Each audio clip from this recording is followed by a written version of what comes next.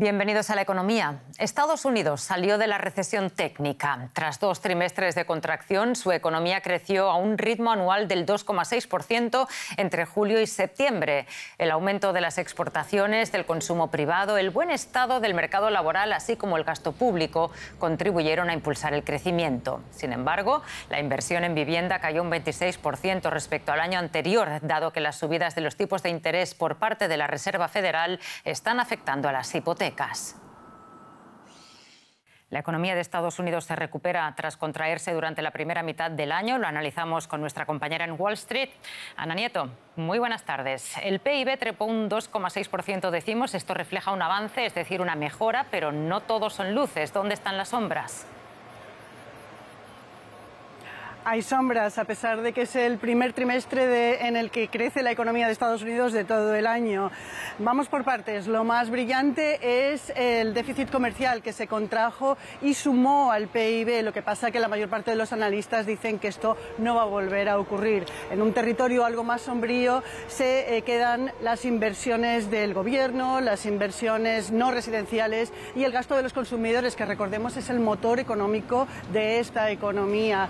En este sentido sí se ha crecido, pero el crecimiento es mucho más moderado que en trimestres anteriores, curiosamente, y se está percibiendo como hay un enfriamiento de esta inversión. La inflación, la subida de los tipos de interés están obrando este parón, este enfriamiento. Por otro lado, y como decías, la inversión en vivienda ha caído, se ha precipitado, es un territorio completamente sombrío, completamente oscuro. ¿Por qué? Porque la subida de los tipos de interés ha sido mucho más acelerada y los precios de la vivienda en el pasado trimestre no bajaron.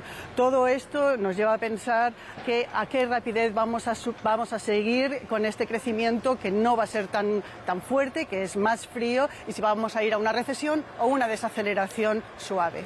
Mm. Ana, este dato llega cuando apenas faltan días para la reunión de la Reserva Federal. ¿Cambia las cosas?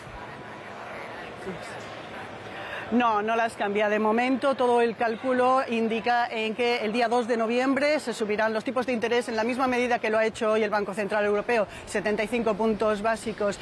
Es lo que se esperaba porque la inflación está muy alta y la Reserva Federal dice que no va a bajar el pie del acelerador en este sentido, cueste lo que cueste, aunque cueste una recesión. Lo que sí que empezamos a ver es que hay señales de que la inflación podría estar rebajándose. En ese sentido, para la reunión de diciembre, se espera una subida de tipos de interés de medio punto y quizá para el año que viene ya sí que se empiece a relajar la Reserva Federal y empiece a pensar cómo ha, eh, impactado esta subida acelerada de tasas de interés, porque nunca se habían subido las tasas de interés a una velocidad tan fuerte como en este año. Gracias, Ana, por este análisis. Un saludo y hasta mañana. Y aquí en Europa el Banco Central subió este jueves los tipos de interés a su cota más alta en más de una década para intentar controlar la inflación. Sube tres cuartos de punto hasta el 2%. La medida busca un difícil equilibrio para el BCE, ya que trata de mantener los precios bajo control mientras esquiva una posible recesión en la zona del euro. Se trata de la tercera subida de tipos desde el comienzo de la invasión rusa de Ucrania, que ha causado un fuerte aumento de los precios de la energía y de otras materias primas. Y el BCE ya ha advertido que habrá más subidas de tipos de interés, lo que frenará la inflación, pero también la economía. ¿Aumenta esto más la posibilidad de una recesión? Así nos respondía nuestro analista en Frankfurt. Sí, se cree que sí. La teoría dice que cuando se suben los tipos de interés hay más posibilidades efectivamente de que la economía se frene. Christine Lagarde decía hoy que el Banco Central Europeo no es, eh, venía a decir que no es ciego ¿no? ante ese riesgo de que en la eurozona acabe ocurriendo una recesión, pero justificaba y defendía la decisión de hoy. Decía que es la correcta. La inflación en la eurozona llegó en el mes de septiembre al 9,9% y Lagarde recordaba que los precios de la energía han subido un 40,5% respecto al año anterior. El Banco Central Europeo ve en el horizonte esa posibilidad de una recesión creciendo, pero Lagarde hoy no ha querido dar muchos detalles. Sí que ha adelantado que habrá nuevas subidas de los tipos de interés, pero nos aplaza al mes de diciembre, a la próxima reunión, entonces tendrán más datos recopilados desde el mes de septiembre. Lagarde sí que ha adelantado que algunos de los factores que ellos consideraban en el peor escenario de sus proyecciones ya no se cumplen porque desde Bruselas han compensado algunas eh, de los cortes de gas desde Rusia, pero tampoco, como les decía, pueden descartar por completo una recesión económica. Los ministros de Exteriores de la CELAC, la Comunidad de Estados Latinoamericanos y Caribeños y de la Unión Europea se reunieron este jueves en Buenos Aires para reactivar la asociación estratégica entre ambos bloques. Abordaron retos comunes en un momento marcado por la guerra de Ucrania y la desigualdad social que dejó al descubierto la pandemia de COVID. Hacía cuatro años que no se veía esta escena. Los cancilleres de la comunidad de estados latinoamericanos y caribeños reunidos con los de la Unión Europea para relanzar las relaciones entre ambos bloques. Esto en un contexto marcado por los estragos económicos, primero de la pandemia y ahora de la guerra en Ucrania, que también se sienten aquí, a miles de kilómetros. El mundo ya no necesita más guerras. Y segundo, ya hay algo que no necesita es dolor. Es demasiado el dolor que hay en el mundo. Allá en el norte se disparan misiles, pero acá en el sur pasamos hambre. Allá en el norte se disputan el gas, pero acá en el sur nos falta la energía para poder desarrollarnos. ¿eh? También el jefe de la diplomacia europea destacó el golpe devastador que ha supuesto la invasión rusa. Que el mundo se enfrenta a una escasez de fertilizantes y a precios del gas, del petróleo y de los alimentos que se disparan es la consecuencia de la guerra, no de las sanciones que Europa y otros países del mundo han impuesto contra Rusia. Borrell destacó la complementariedad de ambas regiones, ya que América Latina, dijo, puede proveer de alimentos y energía a Europa, principal inversor en la región, pero alertó que la crisis financiera puede acabar en una crisis de deuda. Más allá de la guerra, aún quedan temas que debatir para cerrar la brecha que divide a ambos mundos, no solo a nivel económico, sino también medioambiental. Por ejemplo, el acuerdo Mercosur-UE, firmado en 2019, pero del que aún faltan los detalles. La invasión rusa en Ucrania habría acelerado la transición de la energía fósil a la energía verde, según señaló este jueves la Agencia Internacional de la Energía. La organización, con sede en París, cree que las emisiones mundiales de gases de efecto invernadero alcanzarán su pico en 2025 y luego se impondrán las inversiones en energía renovable.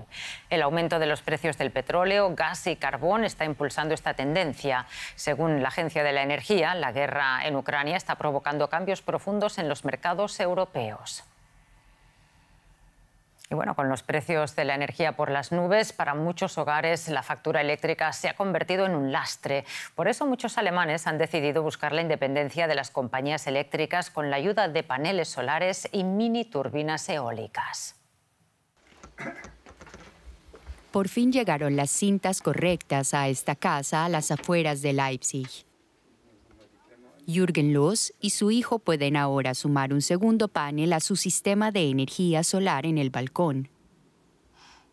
Está conectado a su sistema eléctrico y produce hasta 520 kilovatios hora de energía al año. La familia pagó unos mil euros, pero ante la crisis energética piensan que es una buena inversión. Uno trata de ahorrar algo de dinero, pero ese dinero se queda en el banco. Así que es mejor invertir en un sistema solar. El sistema de energía solar es de la startup local Priwat. Tienen los libros de pedidos a rebosar y casi no pueden afrontar la demanda. Desde la invasión rusa de Ucrania ha aumentado la demanda de nuestros productos. Es inimaginable cuánta gente hace encargos. Hasta cierto punto nos ha pillado por sorpresa. No solo se trata de paneles solares para balcones, también crece la demanda de energía eólica en pequeña escala. Thomas Bremer Tiene un molino en su tejado además de paneles solares. Lo usa para cargar una batería, disponer de energía cuando quiera y ahorrar dinero. Gastamos unos 3.500 kilovatios hora en casa, a un precio de unos 50 céntimos el kilovatio hora, suponen unos 1.750 euros. Económicamente, somos ahora más independientes. El fabricante dice escuchar quejas de las eléctricas de que sus ganancias bajan y de que advierten a sus clientes para que no instalen paneles. También hay obstáculos burocráticos en Alemania. El gobierno alemán quiere reducir algunos de esos trámites, pero no todos. Pero la avalancha de pedidos es difícil de controlar, dice Kai Toya de Privat. Durante el primer trimestre, la escasez mundial de chips fue un reto, seguido de los confinamientos por COVID en China. Luego, los problemas en las cadenas de suministros y ahora no nos alcanza la materia prima. El costo de las mini centrales eléctricas aumenta, pero Jürgen Loss quiere saber si la inversión merece la pena. Y a continuación, otras noticias breves del sector de la automoción antes de irnos. Volkswagen invertirá 763 millones de dólares en México hasta 2025 para modernizar su planta en el estado de Puebla. La empresa anunció que los fondos se destinarán a la construcción de una nueva unidad de pintura y para la producción de un nuevo vehículo con motor de gasolina. La Unión Europea acordó prohibir la venta de vehículos nuevos con motor de combustión a partir de 2035. Representantes del Parlamento Europeo y los 27 miembros del bloque cerraron el acuerdo. La prohibición forma parte del paquete de medidas contra el cambio climático de Bruselas denominado Fit for 55. Y esto es todo en este espacio de economía. Gracias por acompañarnos y hasta pronto.